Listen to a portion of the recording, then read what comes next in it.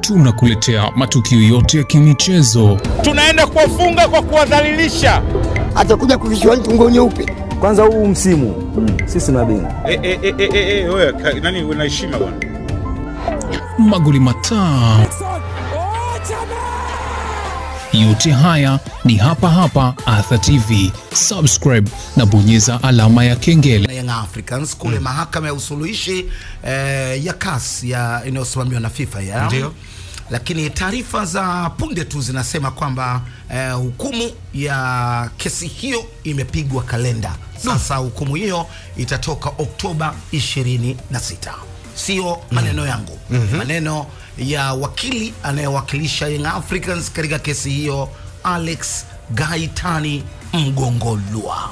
Eh, wame wame wameleta taarifa nyingine wakiahirisha mpaka tarehe ishirini na moja Oktoba na kutumia hiyo taarifa sasa hivi. na wanasema sababu kubwa ni nini? Mbona wanaipiga kalenda tu hukumu hiyo? Haja- Hajaieleza sababu, lakini katika uzoefu wa uendeshaji wa mashauri ya rufaa na mashauri ya madai ni kwamba shauri linavyochukua muda mrefu kwenye uamuzi ni kwamba yule aliyepeleka shauri anaonekana ana hoja. Kwa hiyo ndio maana inachukua muda mrefu katika kufanya uamuzi. Siku zote uamuzi huwa ni mwepesi sana pale ambapo jambo lililoletwa linaonekana halina mashiko. Na nyinyi mme- mmewajibu chochote? Sisi hatujawajibu chochote. Taarifa ambayo wameleta ni kwamba ni tarehe ishirini na sita Oktoba ndio uh, tarehe ambayo inatazamiwa kufanyiwa uamuzi. Alichokisema katika maamuzi katika katika mahojiano yale ni kwamba mwamuzi ameamua kupeleka mbele uamuzi wa shauri hilo la ya Yanga dhidi ya Morrison mpaka tarehe ishirini na sita Baada ya kupata hiyo, kwa maana ya kuwajibu, ni taarifa tuliyopelekea sisi ni kwamba tumepokea ah, mawasiliano hayo na kwamba tuko tuko tuko tayari kupokea uamuzi huo wakati ambao utakuwa umepangwa, sababu katika mazingira hayo hatuna cha kuweza kubishana naye kwa sababu yeye ndio mwamuzi na yeye atafanya uamuzi. Ndio, umesikia kiungo mkongwe Ibrahim mm. Masudi Maestro. Kimsudi mm. pia umesikia kwamba hukumu sasa ni Oktoba 26 na anasema wakili anayewakilisha Young Africans mm. mtoa hoja inawezekana ana hoja, ndio maana hukumu ina imekuwa ikisogezwa mbele. Maanake ingekuwa kama hakuna kesi hapa, Ingetupwa. hakuna nini, ah, ingetupiliwa kule. asubuhi tu Yani mtu wa hoja anaonekana ana hoja, ndio maana eh, watu wanapata nafasi ya kuendelea eh, kufuatilia taratibu. eh, kuifuatilia ili hukumu ile ikitoka basi itoke hukumu sahihi kwa pande zote mbili.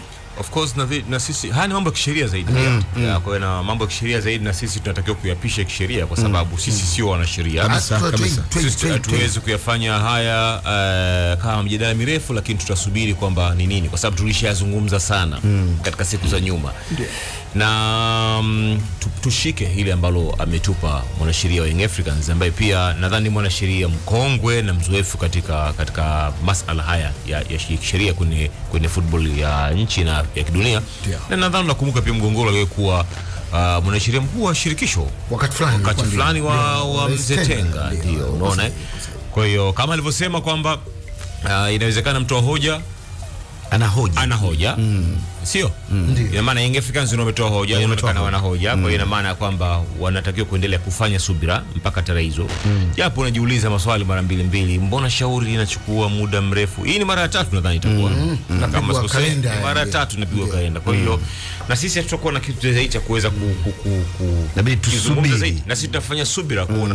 Bahati nzuri taarifa imekuja na imebuka katika Sports HQ mm. immediately. Mm. na sisi tukaitoa moja kwa moja na nadhani hii ndio jambo la busara ambalo linapaswa kufanyika na wana Young Africans wa- watu wa football watu wa nchi na wahusika kuweza kusikiliza kile ambacho kina, kinaendelea Mkongwe, wewe kwa kufuatilia fuatilia kesi kama hizi ambazo zinaendaga uh, zinaendaga kasi mm. uh, hii sio mfumo wa kawaida. Kama kesi ikionekana ina uzito, mm. kupata muda wa kusikilizwa zaidi, ili wakitoa hukumu isije ikaleta maneno maneno baadaye. mm. eh, of course kwa sababu kesi kama ina uzito sidhani kama huwa inachukua inachukua muda mfupi Okay. kesi zenye uzito nyingi zinatengeneza zinachukua zinatafutwa wanasema huku pande hii inasemaje nini kilitokea nini nadhani kuna watu wengi sana wanahitajika kupeleka taarifa eh, ili kuweza kupata hukumu ambayo itakuwa ni hukumu sahihi Mm. kwa hiyo kuchukua urefu wa, wa, wa, wa, wa muda sema ile duration kutoka kesi ilivyopelekwa sijui hebu tu tukumbushane. Inaweza kufika miezi saba nane? Tangu alivyopeleka kwa mara ya kwanza Yanga. Eh. muda- mrefu kidogo. Muda Ni mrefu, muda mrefu. Kwa hiyo tuna bahati tunapata mashaka kwa kuwa na tunachukua muda mrefu sana. Eh, tunachukua muda mrefu sana kiasi Eh, kwamba kesi nyingi kesi yenyewe ilisikilizwa kwa njia ya mtandao ya mtandao. Mm. kama unavyojua sio kwamba walienda of course walipewa option pia mm. kwamba wote Wanaweza. Kwenda. au wanaweza Au- wakaongea kwa mtandao, Kwa mtandao. Mm. na wao wakaona wazungumze kwa njia hiyo ya mtandao hasa kutokana na hali halisi ya kidunia ilivyo hivi sasa Ndio. Sasa leo uh, tarehe 21 ndio ilikuwa hukumu yenyewe mm. itoke. Mm. Eh, bado jaji wa, wa, wa, wa, wa kesi ile mm. amesogeza mbele, Mbele. hukumu pengine mm. bado anaendelea kuandika hukumu mm. bado eh, mm. baada ya kukusanya Ana mambo hajajiridhisha eh, kabisa. Kabisa. anaendelea kuyafanyia kazi Jio. kwa hiyo eh, huo ni uwanja wake na kama alivyosema mwanasheria Mm. uh, kwamba inawezekana mtoa hoja na hoja ana hoja na sisi sio Maana- wanasheria. na sisi sio wanasheria. sio inawezekana. Mtu ahoja hoja ana hoja. yaani maana yake alichokimaanisha kwamba mara nyingi sio kwa kesi hii tu. Ukiona kesi ya namna yoyote inakwenda inachukua muda mrefu basi aliyepeleka lile shauri Ana hoja. ana hoja. Ndio maana watu wanachukua nafasi. Kama ingekuwa ana hoja mara moja tulingetupiliwa kule yani kunge, kunge, yani kungesha kucha sasa hivi watu washanua majama mapema kweli kweli. Au kamanda anasemaje hapo? Kamanda. kamanda Jeff Lear Ah, kesi ya msingi kwa vyote itakuwepo. Kwa hiyo mm. uh, sababu kwa nini inachukua muda kiasi hicho uh, ni kwamba uh, lazima iangaliwe kwamba solution inapatikanaje. Kwa hivyo mimi nakubaliana na anachosema Sudi hapa. Mm. sawa